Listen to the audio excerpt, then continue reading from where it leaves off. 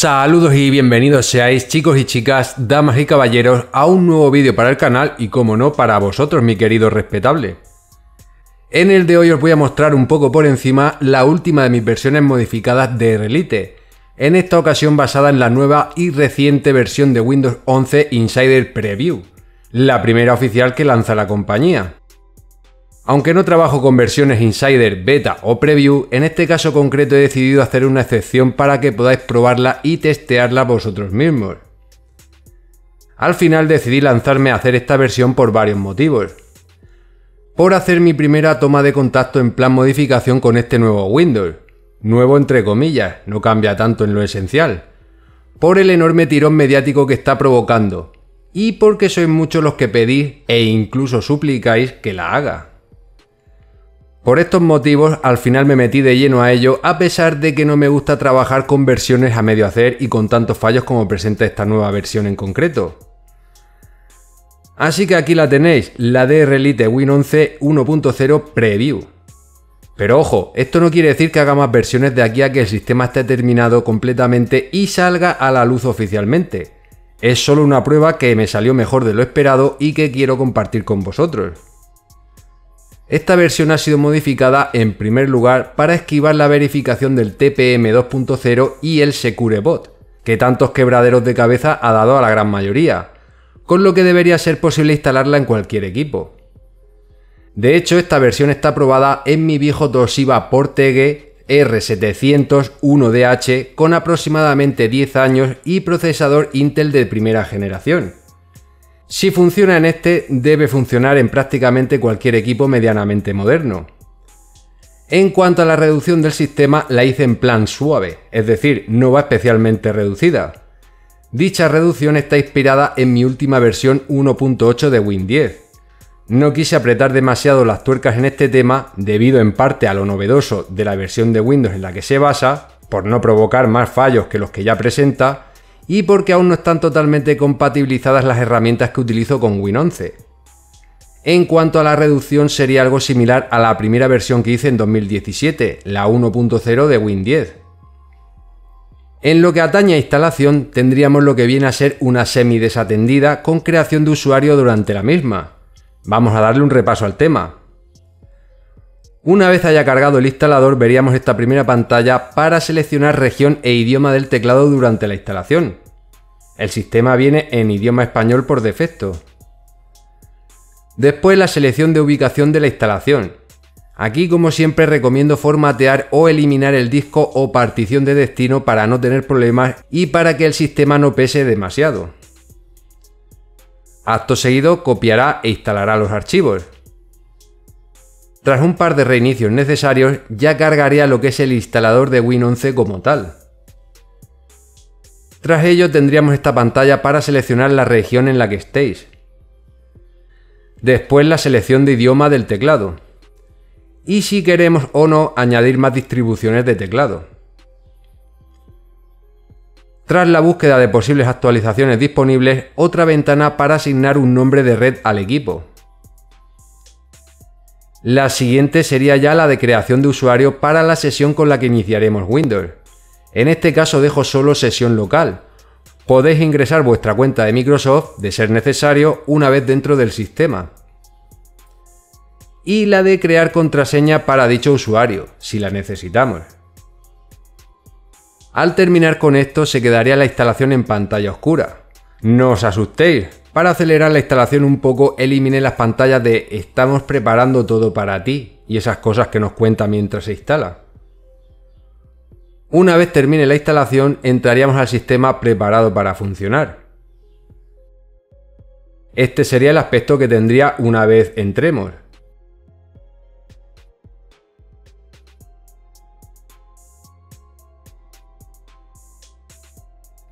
Vamos a darle un repaso por encima.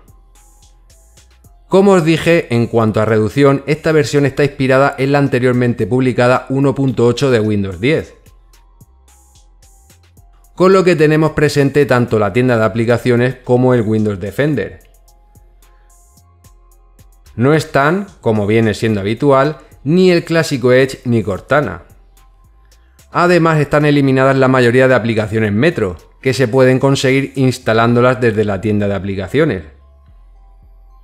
En cuanto a lo que sí que está presente tenemos el blog de notas, todas las herramientas de Windows al completo, quitando Internet Explorer que ya no está presente en Windows 11,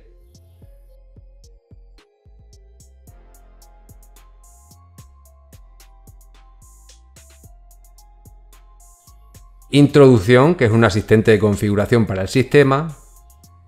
Edge Chromium, es decir, el nuevo navegador web de Windows.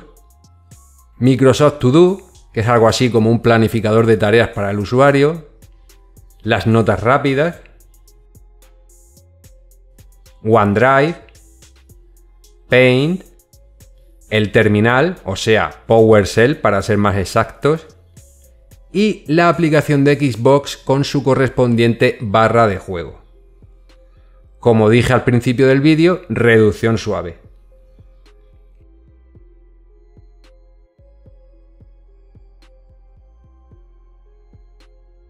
En lo que respecta al tema actualizaciones del sistema, dejo el update imposibilitado para esta tarea. En principio no debería poder buscar ni actualizar, no obstante, sí que dejo abierta la posibilidad de reactivarlo. Vamos a los servicios del sistema.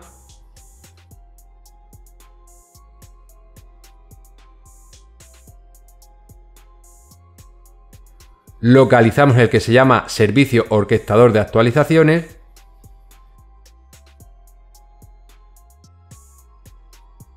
Hacemos doble clic En tipo de inicio lo cambiamos a automático o manual si lo preferís y aplicamos. Ahora damos al botón iniciar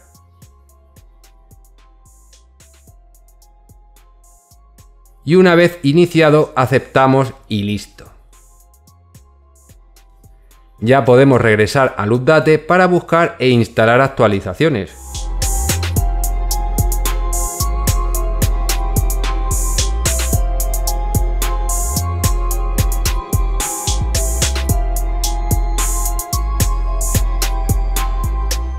De todas formas, aun con este servicio desactivado, otras funciones que del Update dependen funcionan con normalidad.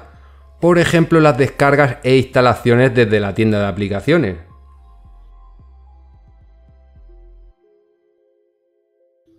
o el cambio de idioma. De hecho, el sistema aún no está totalmente traducido a idiomas que no sean el inglés, así que el cambio solo se aplica a algunas zonas, es decir, es un cambio parcial.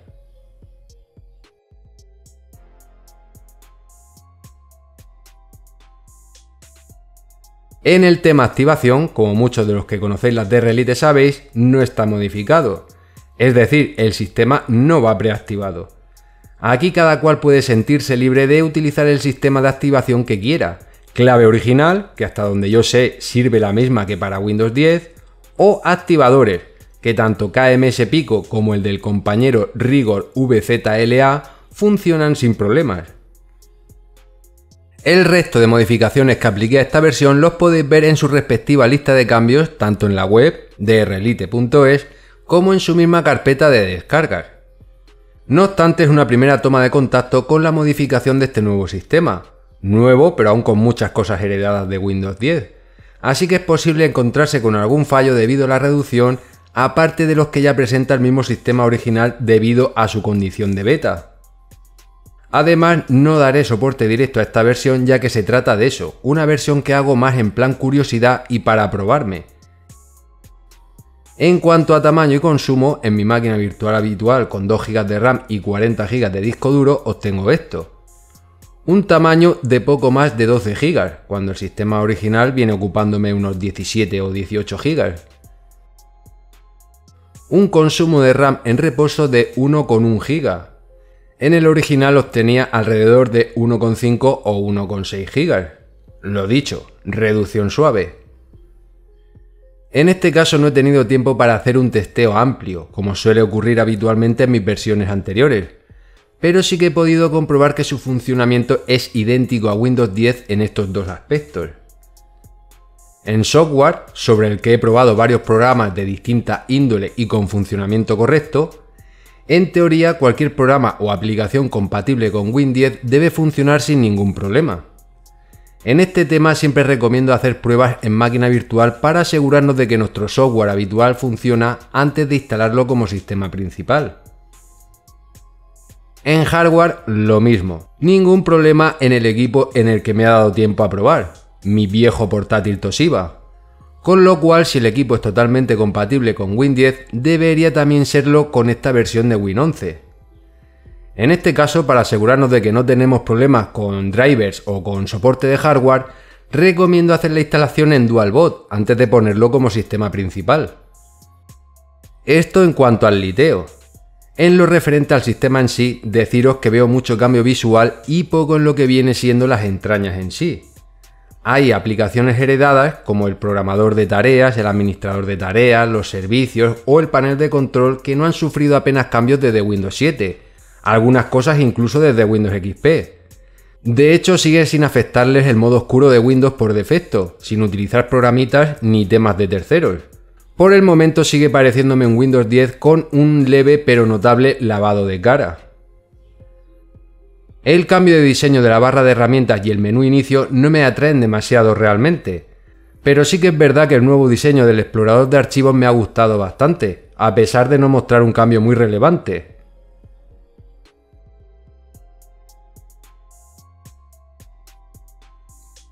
Los cambios de diseño de la sección de configuración también los veo bastante atractivos e incluso más sencillos y organizados que en el 10. En cuanto al rendimiento comparado con la versión anterior de Windows 10, no he notado una gran diferencia que pueda destacar. Eso sí, es fluido y estable como su antecesor. Aquí cada uno es cada cual y tendrá su propia opinión al respecto, pero creo que para tener una opinión más amplia y formada es mejor esperar hasta octubre, la supuesta fecha de publicación oficial, para ver cómo queda todo al final. Aún hay tiempo de mejorar, estabilizar, estilizar y madurar este nuevo Windows 11.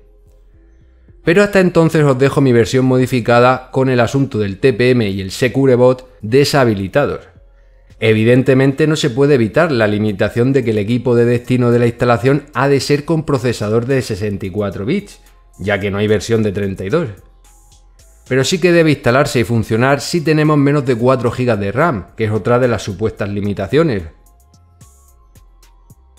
Bien, así pues ya tenéis la DR Elite 1.0 Preview de Win11 lista para descargar y probar, que en este caso todos vosotros, los que las probéis, seréis mis testers. La descarga la tenéis disponible en la web, ya sabéis, en drelite.es, donde también podéis dejar vuestras valoraciones y o comentarios sobre las versiones que hayáis probado. Sin más que decir por el momento se despide el que os habla, Dan Ratia, invitándoos a dejar vuestros comentarios, ya sabéis dónde y cómo hacerlo, a regalarme con vuestros likes, que tanto me gustan y que no cuesta, y no olvidéis suscribiros para estar al tanto de todo lo que está por venir. Hasta más ver mi gente.